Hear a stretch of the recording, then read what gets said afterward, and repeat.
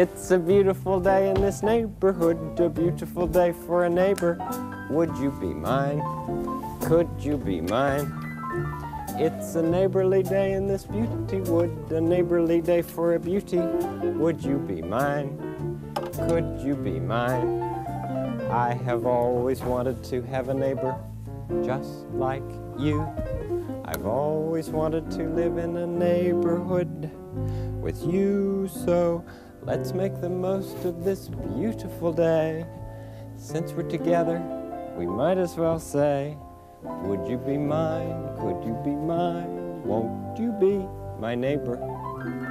Won't you please? Won't you please? Please, won't you be my neighbor?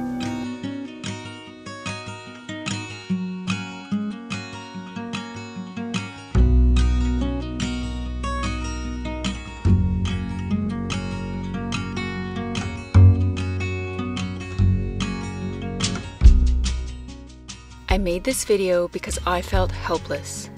Our job as a community association is to engage the community and to improve the experience living here.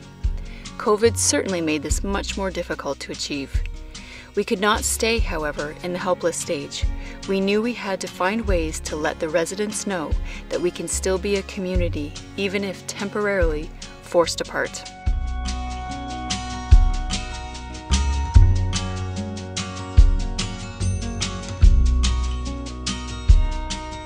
So we took to social media and came up with ways to engage with our people.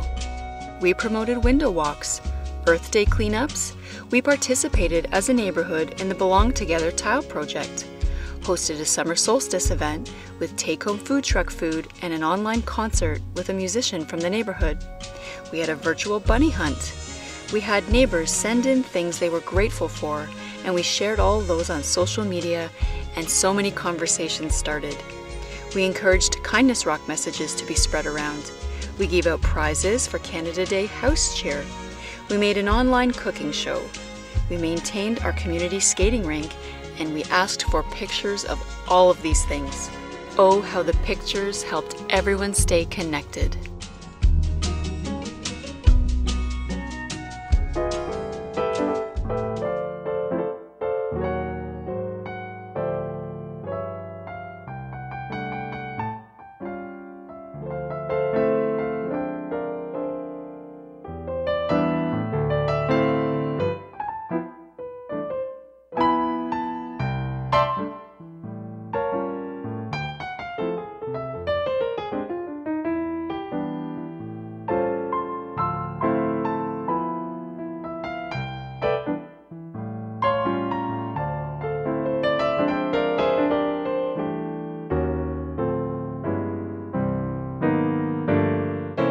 Most importantly, we stayed in touch as neighbors, and I believe, even with distance, we became closer as a neighborhood.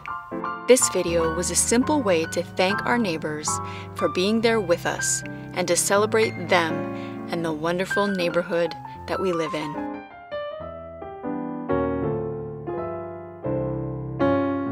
And it's good to think about the times you'll be together. So when you say goodbye, you think about the next time you will be together. And that can give you a very good feeling. Won't you please?